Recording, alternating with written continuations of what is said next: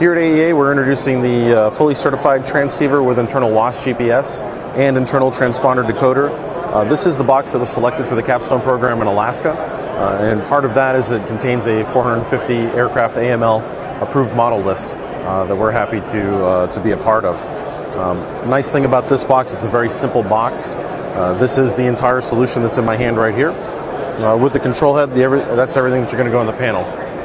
Uh, with this box, you're going to continue to fly today the way that you were flying yesterday and the way you were flying 10 years ago. Keep flying with your Mode AC transponder. As you change your squawk code on your Mode AC transponder, it does have to be the same uh, on our control head. Uh, but the box never really, uh, you never really have to interact directly with this box. The system is actually going to smell the transponder code that's coming off uh, your transponder. It's going to automatically duplicate it on here. People always ask, why do I need to have this if it's automatically doing everything? Well, uh, basically, you need to have this in the event that that interface fails.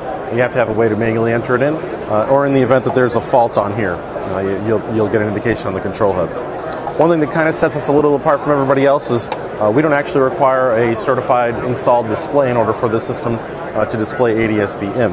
Uh, with a certified serial to Wi-Fi converter that I have here, we're able to take the serial data that's coming in on ADSB and transmit it out wirelessly through Wi-Fi onto your iPad, uh, providing uh, position source and ADSB weather and traffic information. Uh, this will give you the entire ADSB in and out solution with WAAS GPS, with everything that you would ever need uh, to be ADSB compliant, uh, and our price for that is $54.95.